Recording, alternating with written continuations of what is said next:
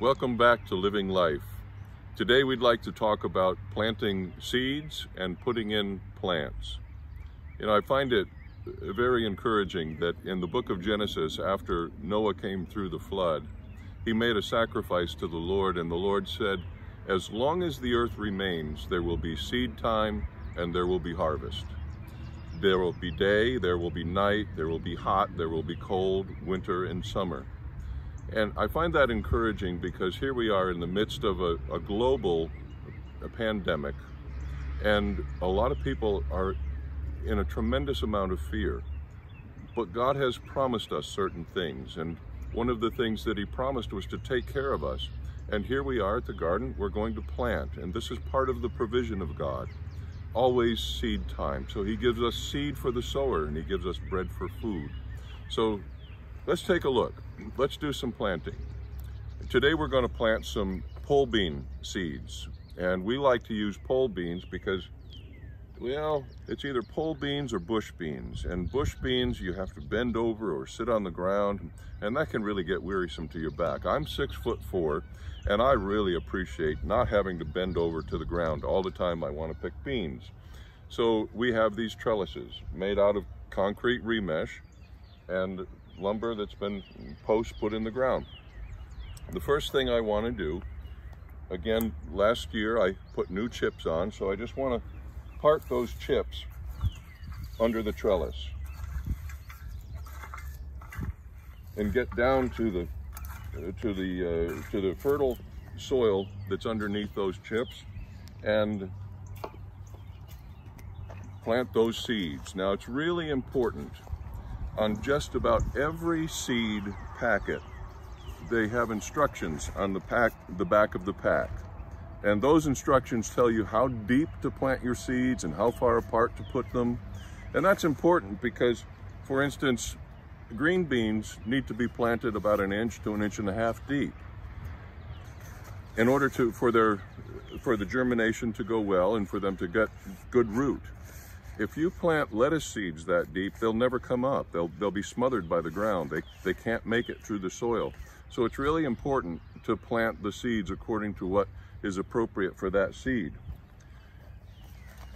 So we're just going to there's two ways I usually do this. One is just drop the seeds at the intervals. They should be about three to four inches apart and about an inch down.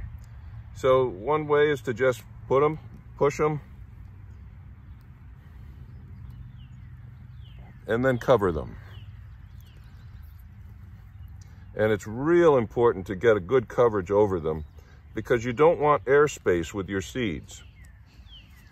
You don't want that airspace because that airspace, the, the seeds won't germinate properly and they'll be likely to rot. So you want to have that good coverage. And now, while we're right here, Christmas time this past year, we brought our Christmas tree in the house. And uh, as we're decorating it, we found a praying mantis nest. Well, you don't want that in your house. Those little praying mantises, they hatch out of that nest and they're everywhere in your house. I've heard of people going after them with vacuum cleaners to get them off the drapes and off the windows. So I brought our praying mantis nest right here to the garden. I thought this would be a good place for it. And here it is. So uh, we just bless those little guys to come out of there. And praying mantises are tremendous pest control for unwanted bugs. They eat a lot of bugs. Okay, for that's that. One of the other things that we want to plant right now would be some zucchini. And uh, I want to say that it's a little bit early for this area to be planting zucchini and to be planting our beans, but it's been such a warm spring that I'm, and I've checked the weather forecast for the next 15 days, and we're pretty good. Every, all the temperatures are above 50 degrees, so I think we're going to be okay. Uh, they say that in this area, after Mother's Day is the best time to plant. You're safe because of the, the, the frost that you have, that, that's uh, the last frost. Uh, last year, many people lost a lot of plants because we had a heavy frost on Mother's Day. Last year, we also lost a lot of plants because we had such a wet spring. And what happened is people planted potatoes, they planted their seeds, and then we got a lot of rain, and that rain just rotted the seeds, the seed potatoes and the seeds. So uh, there was a lot of replanting that had to happen last year. I had to replant potatoes twice, and um, or replant them once, and uh, we finally got a good crop. But it's important to store your seeds from year to year as well in a cool, dry place. Uh, uh, last year, some of my pea seeds, I guess they got caught in the rain when I was planting. And I guess the bag stayed wet. and I guess they sprouted in the bag. So this year when I went to plant my seeds, half of the seeds were already sprouted.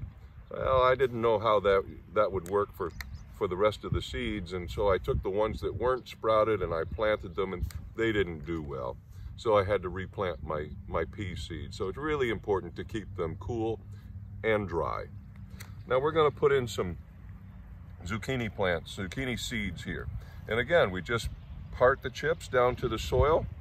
And man, you see this soil. This is just, this is so great. This is such great soil. A little bit of fungus in there. That fungus is really good because that means you're getting you're getting some good decay going on, good composting. You can see all those little organisms, those little worms in there. If you, if you look real close, maybe I can pull them up here for you. Well, there's some in there, trust me, there's some. but I've had uh, people ask me, do I mound, make mounds for squash?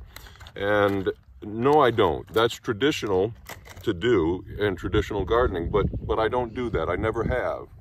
I just simply take the seeds and put them in and usually four or five and then thin them back to about four seeds, three seeds per, uh, per, per area. And uh, that's it right there. Now, uh, once the seeds are in, you can water those seeds to germinate them. And again, as I've said before, the only time I water this garden the only time I water a Back to Eden garden is to germinate the seeds. Uh, this soil is really quite moist right now, so I'm not even going to water this. It's, uh, it's good the way it is. After that, it's good for the seeds when they begin to sprout, when they germinate and begin to sprout. It's good for those seeds to find their own water instead of always providing them with water. That way their root system goes deeper, it stretches out, in search of that water. They get more nutrients that way. Your plants are healthier. So that's that. Now I want to put some watermelon plants in that I started from seed at home.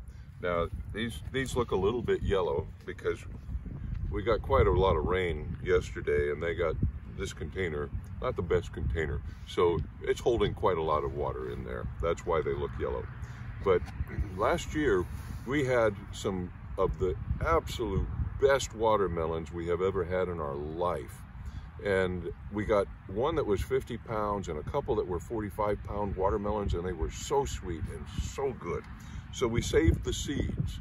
Now, if they were not heirloom watermelons, we wouldn't be able to save the seeds and have them grow. Hybrid seeds, they won't reproduce. So uh, these are these are heirloom, and uh, today's a good day to put them in. So again, we just part those chips down to the good soil. Oftentimes people plant their melons in, in mounds as well, but I'm not going to do that. Uh, I have never used mounds here in this garden, and I've, I've not really even seen the, the need for it, so we're not going to do that. So we'll just take and get these guys out. Oh dear. Put them in put our soil back around there.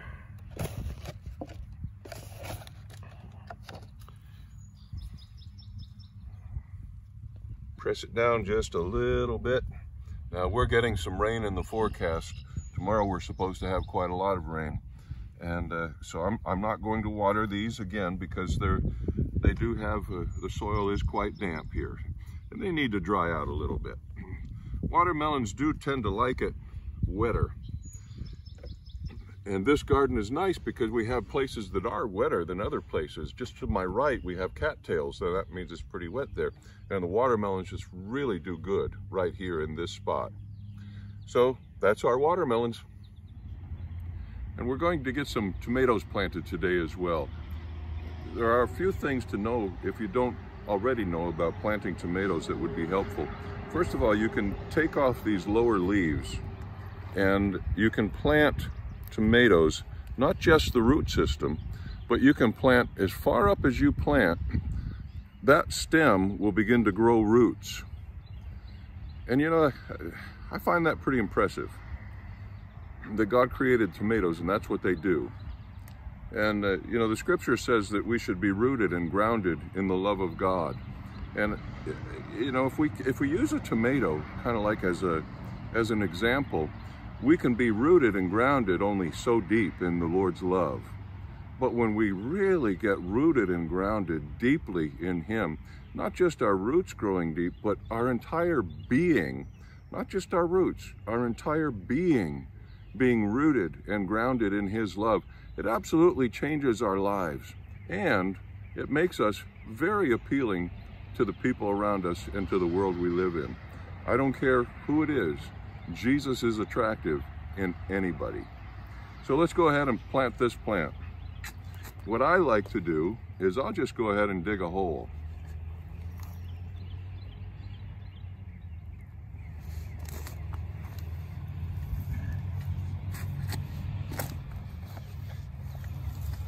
And get it opened up there. Now that soil is really rich, full of nutrients, but Here's what I like to do. I don't know if it's necessary, but I do it anyway. And I take some composted manure and just drop it in there. Just throw that in there. Put a good amount in. Throw that some of that soil back in there. Just mix it up a little bit. No, I don't have to mix it a lot. And boy, oh boy, the tomatoes are really gonna love this.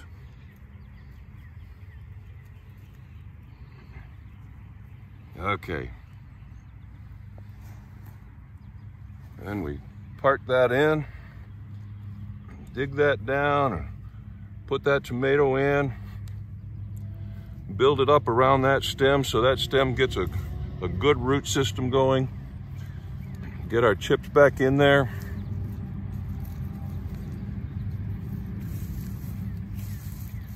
Here we go. That tomato's happier already. Can you see it smile? Now again, we're a little bit early for planting tomatoes.